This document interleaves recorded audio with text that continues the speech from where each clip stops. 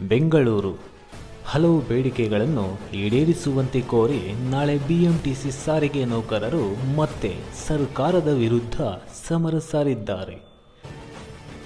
ಸಾರಿಗೆ ನೌಕರರಿಗೆ ಅರ್ಧ ಸಂಬಳ ನೀಡಿದ್ದಾರೆ. ಅಲ್ಲದೆ ಮುಷ್ಕರದ ಬಳಿಕ ನೌಕರರಿಗೆ ಕಿರುಕುಳ ನೀಡಿದ್ದು ಕೆಲಸ ಕೊಡದೆ ಮನೆಗೆ ಕಳುಹಿಸಲಾಗಿತ್ತು. ಈ ಹಿನ್ನೆಲೆಯಲ್ಲಿ ನಾಳೆ ಬಿಎಂಟಿಸಿ ಕಚೇರಿ ಎದುರು ಸಾರಿಗೆ ನೌಕರರು ಪ್ರತಿಭಟನೆ ನಡೆಸಲಿದ್ದಾರೆ.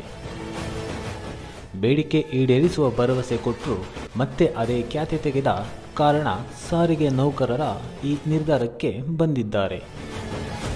ಆದರೆ ನಾಳೆ ಕೆಎಸ್ಆರ್ಟಿಸಿ, ಬಿಎಂಟಿಸಿ ಬಸ್ ಸಂಚಾರಕ್ಕೆ ಯಾವುದೇ ಅಡ್ಡಿ ಇಲ್ಲ ಎಂದು ಅವರು ತಿಳಿಸಿದ್ದಾರೆ.